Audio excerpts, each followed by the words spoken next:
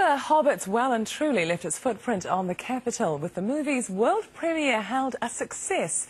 The event attracted tens of thousands of people to central Wellington, and as Rebecca Edwards reports, the stars were impressed with the show. What a difference 24 hours can make.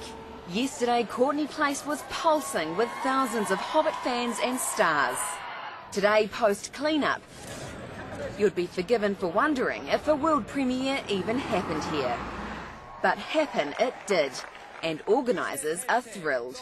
So many of the cast that have not done a Peter premiere before were blown away. They were like, oh my god, this is crazy. We've never seen a premiere like this. So it was a good result. Everyone was very happy.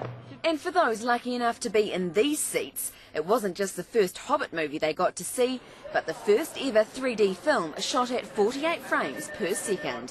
When moviegoers got a snippet from the film earlier this year, some didn't like the look of it. But those behind the technology say get used to it. What you're seeing is more information, more detail, more realism. And for me, I, I just think uh, it's sort of like once you've seen color, you don't want to go back to black and white. And I think this is, uh, is groundbreaking and it's going to set a new standard for, for films in the future. Post-premiere, though, there were no complaints as the stars flocked to a private party on Wellington's waterfront. It's fantastic. It's really awesome. That's good.